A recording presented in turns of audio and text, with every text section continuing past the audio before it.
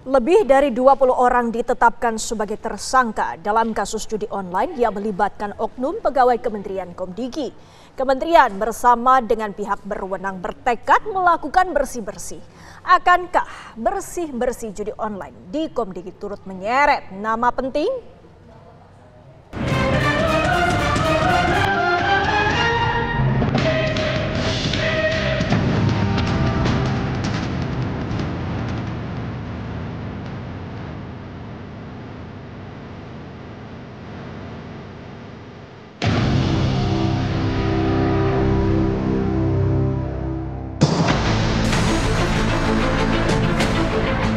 Kementerian Komunikasi dan Digital Komdiki diterpa kabar tak sedap menyusut terbongkarnya ulas sejumlah oknum pegawainya yang terlibat membekingi judi online.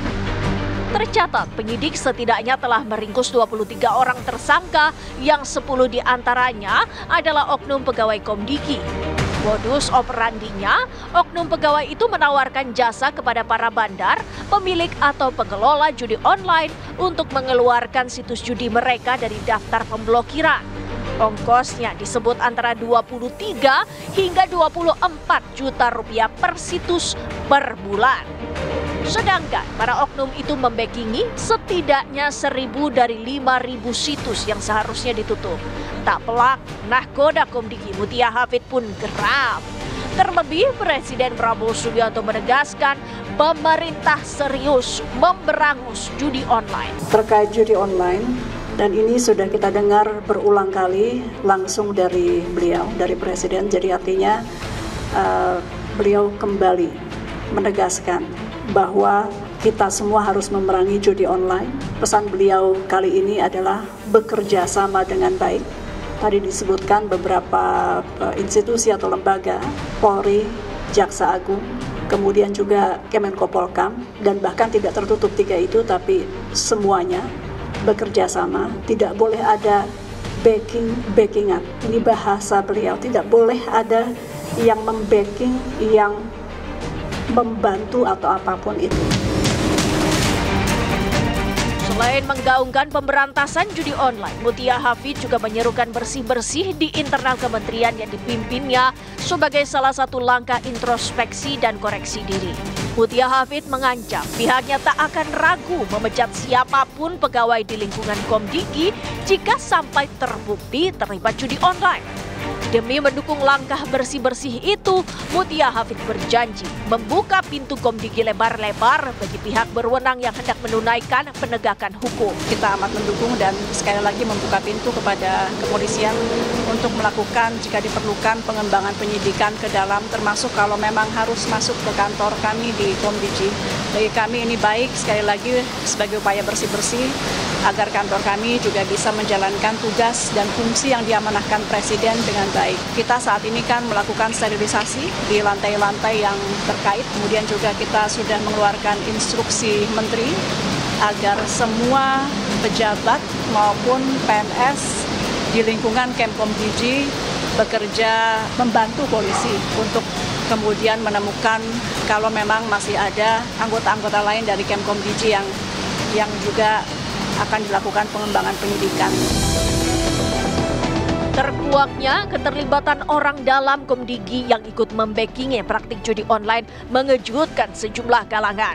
Apalagi praktik terlarang ini diduga sudah berlangsung cukup lama. Sedangkan pegawai Komdigi disebut terikat kuat dengan komitmen menjaga integritas.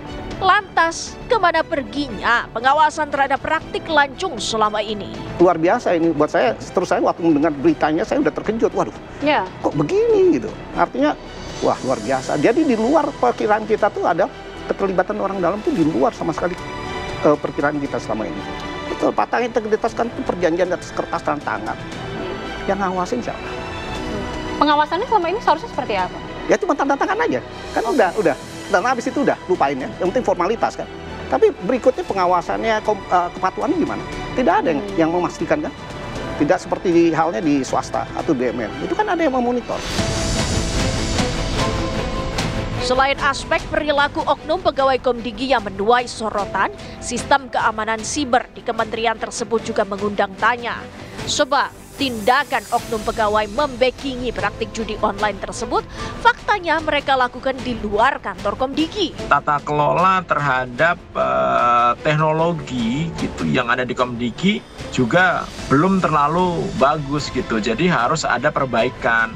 Misalkan, ini sudah ketahuan nih bahwa mesin ini harusnya hanya bisa digunakan dari kantor Komdigi gitu. Sehingga nggak boleh tuh orang dari luar melakukan akses terhadap mesin yang digunakan untuk pembatasan akses. Tapi kan ternyata mereka bisa punya akses kemudian menjalankannya dari uh, Bekasi kan yang dibilang kantor satelit itu. Oleh karena itu perlu segera dilakukan audit. Kira-kira siapa lagi yang punya akses? Karena ternyata mesin ini dari zaman COVID itu karena work from home kan, kemudian diberikan akses kepada orang-orang untuk bisa bekerja dari rumah. Nah itu harus dicek ulang lagi nih siapa yang memiliki akses terhadap sistem pembatasan akses yang ada di Komdigi.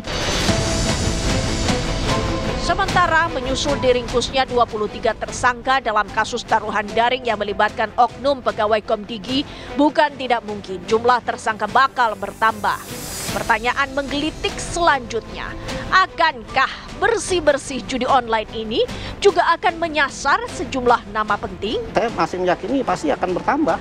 Hmm. Karena kalau udah lihat uh, apa kegiatan yang dilakukan para pelaku ini enggak kan bukan pekerjaan yang dilakukan kemarin sore artinya sudah cukup lama okay. uh, eh, tidak terendus ya. Artinya uh, mereka juga pasti ada yang uh, yang menutupi ya. Ada yang menutupi kegiatan mereka. Jadi ini belum ketahuan semua. Jadi ini pasti akan bertambah. Sekarang sudah ada uh, desk judi online yang menurut saya akan memudahkan untuk berkolaborasi dan uh, berkoordinasi gitu. Sehingga ketika ada ketemu rekening-rekening yang digunakan untuk judi online langsung diblokir. Sebenarnya yang susah itu ya adalah ketika PPATK sudah menemukan by name by address siapa pemilik perusahaan gitu yang digunakan untuk penampungan uang judi online, siapa pemilik rekening yang digunakan untuk penampungan judi online, kemudian PPATK sudah tahu nama-namanya gitu, kemudian ternyata nama-nama itu eh, apa terindikasi sebagai agen atau terindikasi sebagai bandar gitu. Nah, ini mungkin yang butuh effort khusus bagaimana aparat penegak hukum kita bisa nangkepin orang-orang ini semua.